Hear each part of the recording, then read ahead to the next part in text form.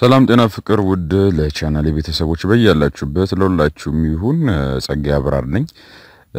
እንግዲህ ከሰሞኑ ውድ ታዳሚያን እንግዲህ ሰፋ ባለ ተከታታይ ስራ ለመምጣት ብዙ ነገሮችን እንግዲህ የጣልኩ እያነሳው ስለሆነ ነው እመለሳለሁ። እስከዛው እንግዲህ አንዳንድ እንግዲህ እንዲህ ወጥ በሆኑ አንዳንድ story ዎች እንዳትቦዝኑ ወደ እናንተ እያደረስኩ ስለሆነ ነው። እንዲሁም ደግሞ አልፎ አልፎ እንዲሁ አጫጭር ወግ ነክ ነገሮችን ማደርሳለሁ። ለዛሬ ዘሪሁን ገመቹን መርጫ ያለው ከእሱ አንድ አጠር ያለች ስራ ቆይታ ይኖረናል። አብራችሁን እንደምትወዱት ተስፋ አደርጋለሁ። ሀሳብ አስተያየታችሁን እጠብቃለሁ በ comment box። እንዲሁም ደግሞ ከወደዳችሁት እንግዲህ ያው በ like ስሜታችሁን መግለጽ ይበረታታል። ካልወደዳችሁትም it's okay dislike ማድረግ ችግር የለውም እና እንደዛ አድርጉ።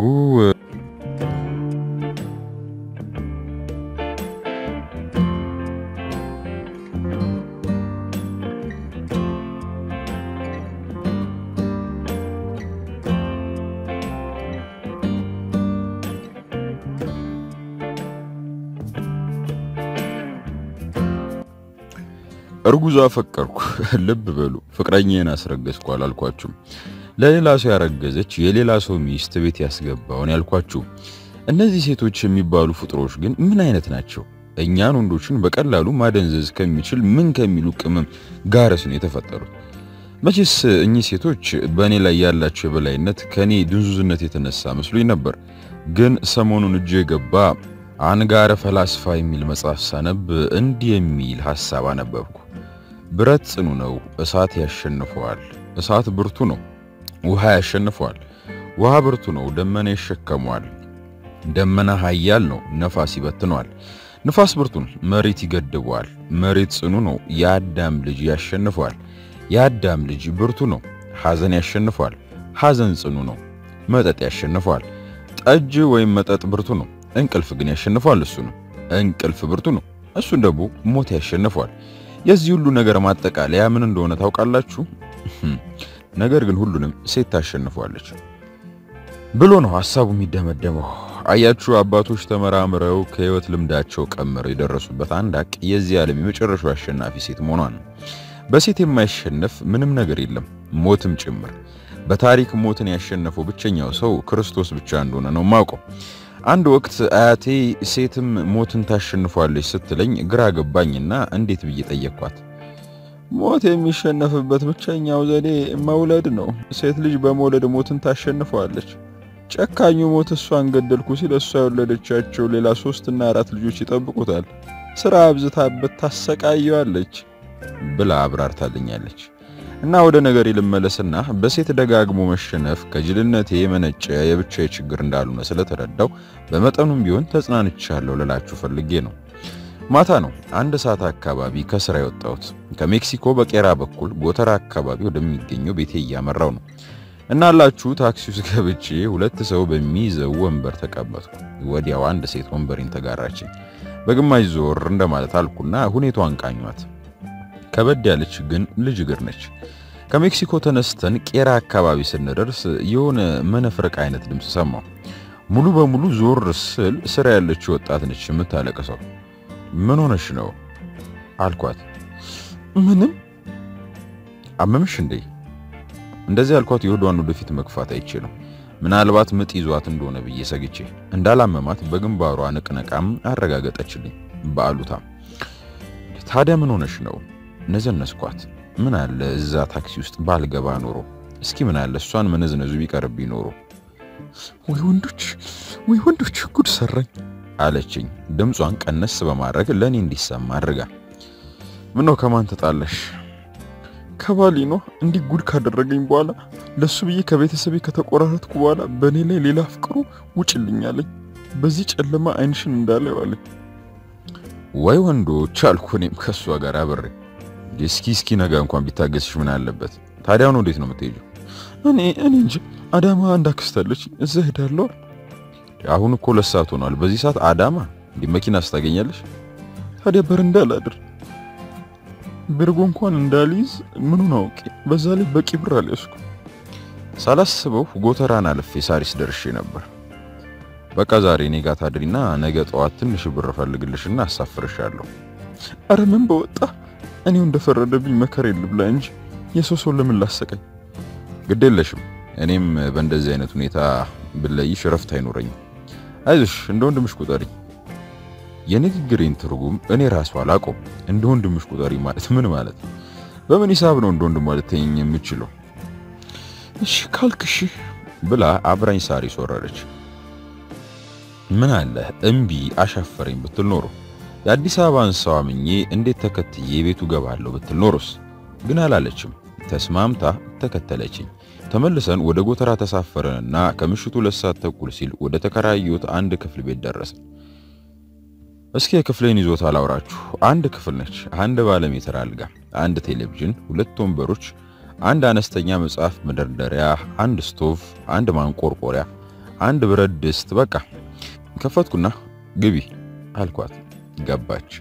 አንደኛው ወንበር ላይ ተቀመጠች። አንደኛው ወንበር ላይ ሻንጧን አስቀመጥኩና መጣ አንዴ ብዬ ወጣው። በቅርብ ርቀት ካለ አንድ ሆቴል ሄጄ እራታችንን ይዤ ነበር የመጣሁት። አብረን በላንና እንደጨረስን በቃ ያው ተኝ፣ ቁልፉም ያውና ከውስጥ ቆልፊው። እንዴ አንተስ አለች እንደንገጣ። እኔማ ምን ወላጆች እዚህ ላንቺ አካባቢ ናቸው፣ እዛ ሄጄ አድራለሁ። ለምን እዚህ አተኝም? እንደምታየው ያለችው አንድ ጠባብ አልጋ ነች። ኧረ ይበቃናል። እርግጠኛ ነሽ? እንዳላጨናንቅሽ ብዬ ነው። ግድ የለም ይልቅ ዝጋውና ተቀምጥ አለችኝ። ዘጋውና ወደ ሻንጣ ሄድኩ። ቢጃሜን ቀየርኩ። እሷም ከጎኑ ያለውን የራሷን ሻንጣ ከፈተችና የሌሊት ልብሷን አውጥታ ለበሰች። ቀድሚያት አልጋ ውስጥ ገባውና ከግድግዳው ተለጥፌ የተኛው። ከአስር ደቂቃ በኋላ መታ ከጎኝ የተኛች። መብራት አጠፋውና በጨለማ ውስጥ ወሬ ጀመርን። ስምሽ ማን ነው? የባሌ ወርቅ። የእኔ ዘሪሁን ነው። ለመሆኑ ስንት ወር ሆነሽ? ስድስት ወር ጨርሼ ሰባተኛ ወሬ ሊይዝ ነው። ኦ ደርሰሻላ። መድረስስ ደርሼ ነበር። እንዴት እንደመሆን አላውቅም እንጂ። ከባለቤትሽ ጋር ብዙ ቆያችሁ? ሁለት ዓመት። ምንድን ነው የሚሰራው? ፖሊስ ነው። ለዛውም ፖሊስና ሕግ አዋቂ ሆኖ ነው እንዲግፍ የሚሰራብሽ? ከሕግ አዋቂነቱም በላይ የሕግ ባሌ ነበር። የሕግ ባሌ? ግራ ገባኝ። የሕግ ባሌ ማለት ምን ማለት ነው? ይገርማል። ግን ለምን አትከሺውም? ዝም ብሎ እስከሚፈልገው ድረስ ተጠቅሞብሽ ካስረገዘሽ በኋላ አውጥቶ መወርወር አለ እንዴ? ሕግ ባለበት ሀገር አይደል እንዴ ያለ ነው? አንተ የቸግረ ነው። አሁን ከሱ ጋር ተካሰሽ ልረታው ነው። ዳኞቹም አቃቢ ሕጉም ጓደኞቹ ናቸው። ለዛውም በምን ብር ይከራከራሉ? ሰው እኮ አይምሰልህ፣ ከራሱ የተጣላ ወሬ ነው። ሁለት ዓመት ከሱ ጋር የኖርኩትም ስንትና ስንት ዓመቱን ችዬ ነው። ታዲያ ምን ይሻላል? እንዳልኩ አዳማ አክስቴ ጋር ሄድና ከወላጆች እንድታስታርቀኝ ማጸናታለሁ። እነሱ ጋር ሆኜ ልጄን የቀን ስራም ቢሆን ሰርቼ አሳድገዋለሁ እንጂ እሱን ስለማምጥ አልኖርም አለች። እየተንገሸገሸች ነው። ከዛ ሳናስበው ወደ እንቅልፍ አለም ሄደን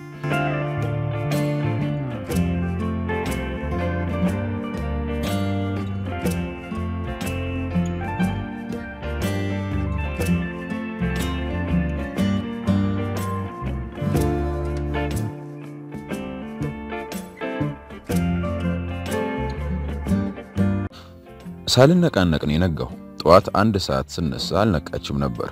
በጠዋት ማልቀርበት ቀጠሮ ነበረኝ። ሁለት መቶ ብር አወጣውና ጠረጴዛ ላይ አስቀምጬላት ከወጣሽ ቁልፉን አከራዮቹ ቤት አድርጊልኝ የሚል መልእክት ከጎኑ አስቀምጬ ወደ ቀጠሮ ያመራው።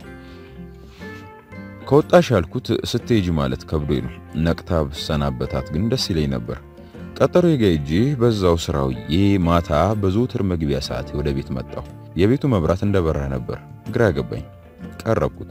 ከሩቅ የሚጣራ የምግብ ሽታ፣ የቡና ሽታ፣ የዕጣን ሽታ፣ የሰንደል ሽታ።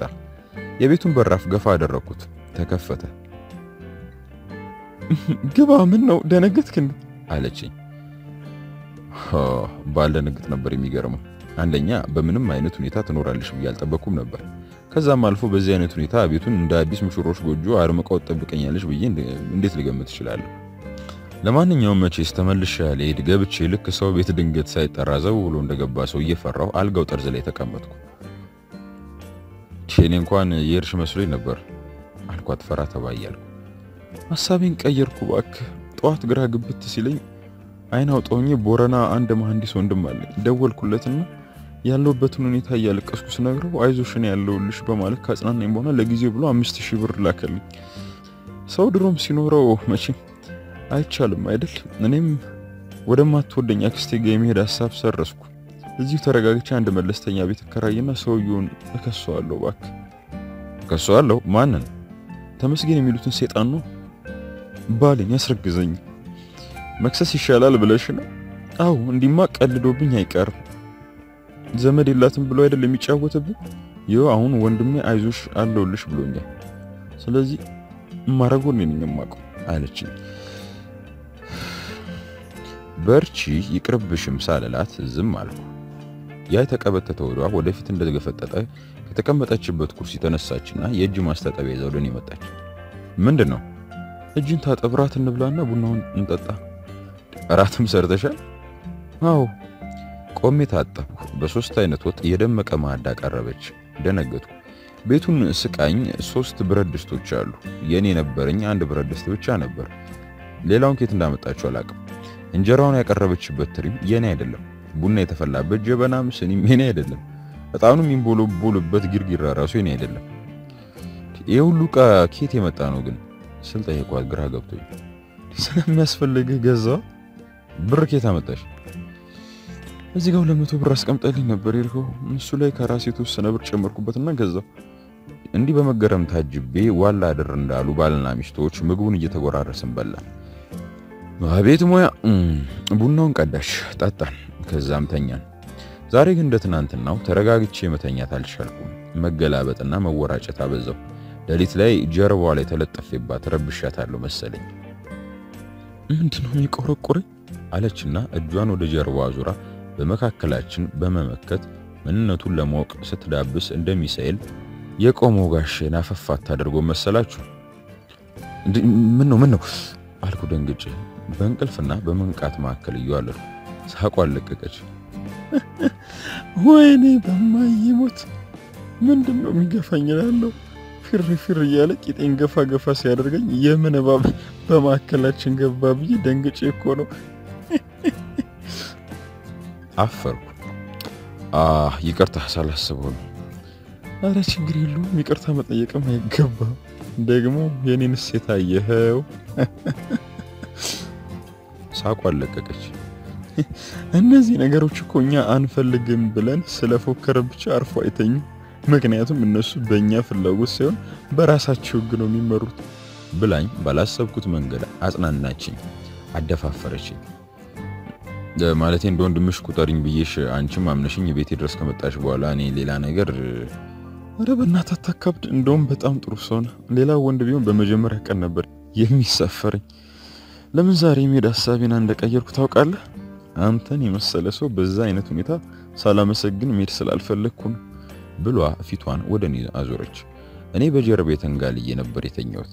ከዛም አቀፈችኝ። ጸጥ አልኩ። ትንፋሽ አጠረኝ። ለመሆኑ አሁን ፈቃደኛ ሆና እናደርግ ብትለኝ እንዴት ነው ማደርገው? ለመሆኑ አንድ ያረገዘች ሴት እስከ ስንት ወር ድረስ ግንኙነት ማድረግ ትችላለች? የሰው ልጅ ብጎዳስ? እጄ ላይ የሆነ ነገር ብትሆንብኝስ? እንዲሁ የባጤ ቆጡን እያሰላሰልኩ እንዳቀፈችኝ ያ ሴንቲሜትር ክፍተት በማዕከላችን ትቼ እኔም እንዳቀፍኳት አይነጋ የለ ነጋልኝ።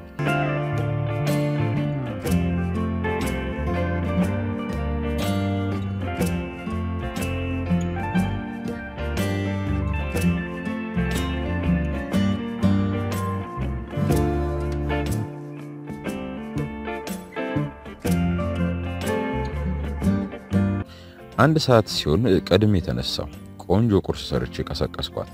ተነሳችና አብረን በላን። ከዛም ሁኔታዎች እስኪስተካከሉ የሚከራይ ቤት እስክታገኝ ከኔው ጋር እንድትቆይ ነገርያት ተሰናብቻት ወደ ስራ ሄድኩ። ሚኪ ለሚባል ጓደኛዬ ሰሞኑን ያለውበትን ሁኔታ ነገርኩት፣ ምክሩን ፍለጋ። ግን ምክሩ ለኔ የሚጠቅም አልሆነም።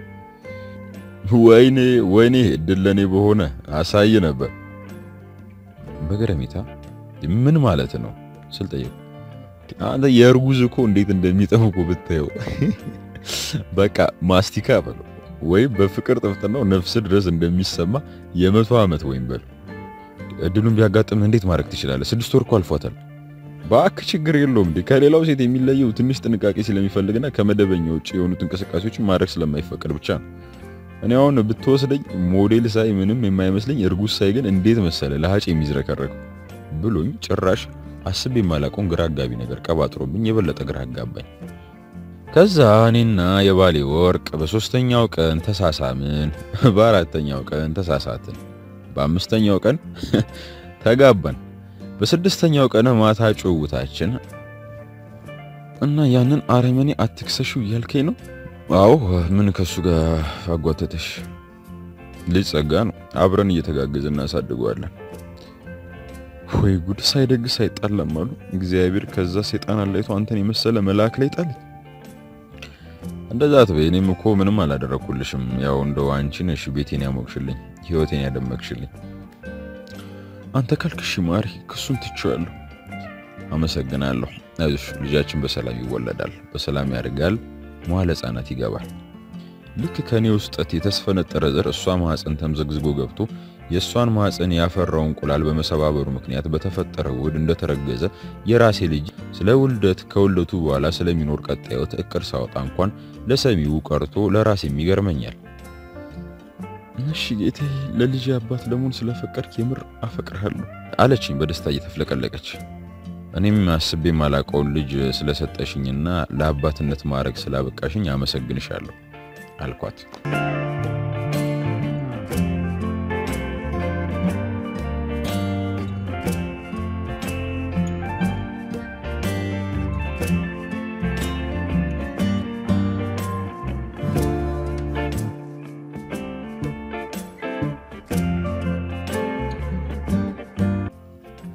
በሰባተኛው ቀን እናቴ ያስጠራችኝ። እየፈራሁ ሄድኩ።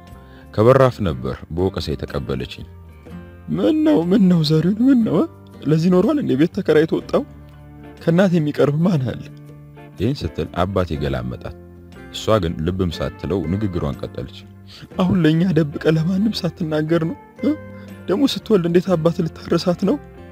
በዝምታ ተሸብቤ አንገቴን በእፍረት ደፋው ለመሆኑ ስንት ወር ሆኗታል ስድስት ነው መሰለኝ መሰለኝ ይላል እንዴ ቀሚሷን የገለብክበትን ቀን ማስታወስ አትችልም ማለት ነው አባቴ ነው ፊቱን እንደቋጠረ የተናገረው። ማለት ያው ሰባተኛ ወሯ ልትይዝ ነው። እኔማ ይብላኝ ለአንተ እንጂ እንደሰማው ሰፈራችሁ እንጂ ተደበቄ ሱቅ ስትሄድ አየኋት። ሴት ደፍረ የምታናገርም አይመስለኝ ነበር። ደግሞ ቆንጆ ልጅ ነው የመረጥከው። አንተም እንደ ሌሎች ወንድሞች ወግ ደርሶ የልጅ ልጅ ልታሳየ ነው አለችኝ። እናቴ ከቁጧ ውስጥ አሸንፎ የሚወጣ ደስታ እየተናነቃት ነው። በል እስካሁን ደበቅከን፣ ይበቃል። የፊታችኑ የአምጣትና አስተዋውቀን ውሳኔያቸውን ነገረችኝ። ያለምንም ተቃውሞ ተስማምቼ ወደ ቤት የተመለስኩ።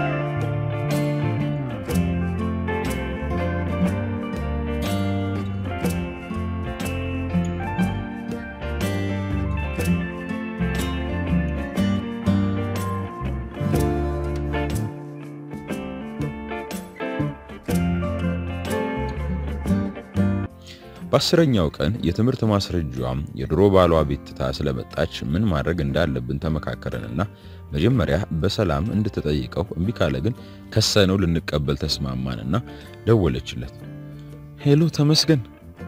hello የባሌ ወርቅ ነኝ። አውቄሻለሁ። የትምህርት ማስረጃዬን ለመውሰድ ፈልጌ ነበር። ከየት? ከቤት ነዋ። ኮሜዲኖ ውስጥ ከአንተ ወረቀቶች ጋር ያለው መተሽ ውሰጂያ። አይ ውጭ አቀብለኝ። የት ነው ያለሽው? እዚሁ አዲስ አበባ ዘመድ ቤት ነው። በቃ ዛሬ 11 ሰዓት ራስ ሆቴል እንገናኝ። እዛ ድረስ አመጣልሻለሁ። እሺ፣ ስልክን ሰጠቻችሁ፣ ሰው ልካለሁ። document ኡን የምትፈልጊ ከሆነ ራስሽ ነይ። ምንም ችግር የለውም እኮ ዘመድ ነው የምልከው። ያዋጣኛል ካልሽ ጠላትም ላኪ። እኔ ግን ንብረቱን ለባለቤቱ ቀጥታ ማስረከብ ነው የምፈልገው። እሺ፣ በቃ ራሴ እመጣለሁ። ይህን ተባብለው ስልኩ እንደተዘጋ ነው እንግዲህ ማቀው ሰማው አይደል? ማታ 11 ሰዓት እንገናኝ ብሏል። ጥሩ ነዋ። ዋናው ለመስጠት መስማማቱ ነው። እኔ እንጃ ደስ አላለኝ። የሆነ አውሬ ነገር ነው እኮ ሊተናኮለኝ አስቦ ቢሆንስ? ስጋቷን ተናገረች። ሰው ባለበት ቦታማ ምንም አያደርግሽም። ተው እባክህ፣ ሰው መስሏል እሱ። የዶክመንቴ ነገር ሆኖብኝ እንጂ እስከ ዘላለሙ አይኑን ባለ ምርጬ ነበር። አይዞሽ፣ እኔ በቅርብ ርቀት ሆኜ እከታተልሻለሁ። ችግር ሊፈጥርብሽ ከሞከረ ወዲያው ፖሊስ ይዤ እደርስልሻለሁ። በዚህ ተስማማን። ከቤት ተያይዘን ወጣን። አሁን እሱ ፊት ተጎሳቁለሽና የተጎዳሽ መስለስ መታየት የለብሽም። ከሱ ውጪ ራስሽን ችለሽ መኖር እንደምትችይ እንዲያውቅ በማድረግ ትምህርት መስጠት አለብሽ ብዬ ጎትቼ ፀጉር ቤት ወሰድኳት። 300 ብር ከፍዬ እኔ ራሴ እሷ መሆኗን እስክጠራጠር ድረስ ውብ አድርገው አሳመሯት። ቀጥሎ ወደ ቡቲክ ሄደን ከእርግዝናዋ ጋር የሚስማማ አማላይ ቀሚስ ከቀሚሱ ጋር የሚሄድ ጫማ ገዛውላት። ይህ ሁሉ ምንድን ነው? የምትድረኝ እኮ ነው ያስመሰልከው አለችኝ በደስታ እየተፍለቀለቀች። ጠላትሽ ፊት በምንም አይነት አንገትሽ መድፋት የለብሽ ተገላገልኳት እንዲል ሳይሆን ምን ነክቶኝ ነው ያመለጠችኝ ብሎ እንዲቆጭ ነው የምፈልገው። በዛ ላይ የፊታችን ውድ ከነማዬ ጋር ስለማስተዋወቅሽ ቀሚሱ ለዛ ቀንም ይሆንሻል። አቤት ወላጆች ጋር እስክተዋወቅ እንዴት እንደቸኮልኩ አትጠይቀኝ አለችኝ። በእውነትም ጉጉቷ በፊቷ ላይ እየተንጸባረቀ ነበር። አይዞሽ ሶስት ቀን ነው የቀረው። እነሱም አማቻቸውና የልጅ ልጃቸው እስኪታወቁ ከአንቺ በላይ ቸኩሏል። በአፍቃሪነቴ ይሁን በጅልነቴ አላውቅም፣ ልቧ ተነክቶ አይኖቿ እንባ ቀረሩ። ዜድዬ በጣም ነው ያፈቀርኩ። በቃ ንጹህ ሰው ነህ አለችኝና ስቴዲየም አስፓልቱ ዳር እንደቆምን ከንፈሬን ሳመችኝ። ይህም በወቅቱ በአካባቢው ከነበሩ ወንዶች የተሻልኩ ተፈቃሪ ሰው አድርጌ ራሴን እንዳስብ አደረገኝ። እኔም በጣም አፈቅርሻለሁ ስል አጸፋውን መለስኩላት። በሰዓቱ ቀጠሮ ቦታ ደረሰን። በራፉ ድረስ ሸኘዋትና በቃ ሂጂ፣ እኔ እዚሁ አካባቢ ዞር ዞር እያልኩ ጠብቅሻለሁ። የሆነ ችግር ካለ አንዴ ብቻ ሚስኮል አድርግልኝ፣ ፈጥኜ እደርስልሻለሁ። ደግሞ ከዚህ ከበራፉ አካባቢ አልርቅም ብዬ ጉንጯን ስሜ ሸኘዋት። ስትለየኝ ሰዓቱ 11 ከ12 ደቂቃ ይል ነበር። ተኩል አለፈ፣ 12ም ሆነ። አንድ document ለመቀበል ይህን ያህል ጊዜ እንዴት ይፈጃል? ግራ ገባኝ። ሰዓቱ እየገፋ በሄደ ቁጥር የእኔ ጭንቀት እየጨመረ መጣ። ስልኬ ከአሁን አሁን የ missed call ምልክት አሳየ በሚል ስጋት አይኔ ላይ እንደደቀንኩት ነው። ምን አይነት ጉድ ነው? አላስችል ስላለኝ እዛው ራሱ ሆቴል ጎን ካለ አንድ ቡቲክ ገባውና ኮፍያ በመግዛት ጭንቅላቴ ላይ ደፍቼ ፊቴን በከፊልም ቢሆን እንዲከልለኝ በማድረግ ወደ ውስጥ ገባው። ትንሽ ከተዟዟርኩ በኋላ አየኋቸው። አንድ ጠረጴዛ ላይ ፊት ለፊት ተቀምጠዋል። ሁለቱም ፊት ግማሽ ድረስ እየተሞላ የወይን ብርጭቆ ይታያል። የባሌ ወርቅ በንዴት በሚመስል ስሜት እጇን እያወናጨፈች ታወራለች። እሱ በእርጋታ ያደምጣታል። አዎ ልክ ልኩን እየነገረችው ነው። የታባቱ ትንገሩ። ሰውየውን ግን ካሰብኩት ፍጹም ተቃራኒ ሰው ነብኝ። እድሜው ገፋ ያለ ጎልማሳ፣ ፊቱ የተጨማደደ አስፈሪና አስጠያ አድርጌ ነበር በምናቤ ሳልኩት። ግን ደስ የሚል የስፖርተኛ የሰውነት ቅርጽ ያለው የሚያምር ጸጉረ ሉጫ 30 ዓመት የማያልፈ ወጣት ነው። አይ እንግዲህ ሰላም ናቸው ብዬ ፊቴን አዙሬ ወደ ውጭ ተመልሼ በመውጣት ጥበቄን ቀጠልኩ። አንድ ሰዓት ተኩል ላይ ስልክ የጠራ የባሌ ወርቅ ነች። ቶሎ አይኔ በአካባቢው ተሽከረከረ። ፖሊስ ፍለጋ። በ50 ሜትር ርቀት ሁለት ፖሊሶች ቆመጣቸውን እያወዛወዙ እነሱም እየተወዛወዙ ይታዩኛል። ወደ እነሱ መሮጥ ጀመርኩ። ከመደንገጤ በፊት ግን ጥሪው ስላልተቋረጠ ተጠራጠርኩና አነሳሁት። hello ዜድ፣ የተረጋጋና የተለሳለሰ ድምፅ ነበር። hello ኤባ፣ ይኸው ደረስኩልሽ። ፖሊስ አጠገብ ደርሻለሁ። አረ ምን ፖሊስ እንዴ? እኔ ሰላም ነኝ። ሩጫዬን ገትቼ ቆም። ስትደውይ እኮ ችግር ተፈጠረ ብዬ ነበር። አይ ሰላም ነኝ፣ ላወራ ስለፈለግኩ። ምን አልጨረሽም እንዴ? ምንድን ነው የምታወሪኝ? ሽንት ቤት ነኝ። እና ምንድን ነው የምታወሪኝ? ዜድ እንዴት ብዬ እንደምነግር አላውቅም። ፈራው፣ ሰውነቴ እየተንቀጠቀጠ ነው። ንገሪኝ፣ ግድ የለም ምንድን ነው? ተሜ እኮ ይቅርታ ጠየቀኝ። እንግዲህ ሰምታችኋታል አይደል? ተሜ የምትለኝ እንግዲህ አውሬ ነው ሴጣን ነው ስትል የከረመችውን የድሮ ባሏን ተመስገን እንደሆነ ልብ በሉልኝ። ብታዩ እያለቀሰ ሲለምነኝ አንጀት ይበላል። ሁለተኛ ሊጎዳኝ እንደማይሞክር እየማለ ቃል ገባልኝ። እኔ እንኳን አሻፈረኝ ብዬ ነበር። በማህፀንሽ ባለው ልጃችን ብሎ ሲማጸኝ ምን ላረግ ሰማዋለሁ ብዬ ፈጽሞ ያልገመትኩትን መርዶ አረዳችኝ። እናው ምን ልታረጊ ነው? ዜድ በቃ ምን አደርጋለሁ? ያው ወደ ቤት የተመልሼ ከመግባት ውጪ ምን ምርጫ አለ? ተምዬ እንዲህ እያለቀሰ ሲማጸኝ በምን አንጀት ያሻፈረኝ እለዋለሁ። አንተስ ምን በወጣ ያንተ ያልሆነ ልጅ ታሳድጋለህ። ሰሞኑን መጥቼ ሻንጤን ወስዳለሁ። እሺ ቻው ዜድ፣ ደህና አደር። ላደረክልኝ ሁሉ አመሰግናለሁ። ስልኩ ተዘጋ። የኔም አይምሮ አብሯት ተዘጋ ማለት ይቻላል። እንደ ንክ ነው ያደረገኝ።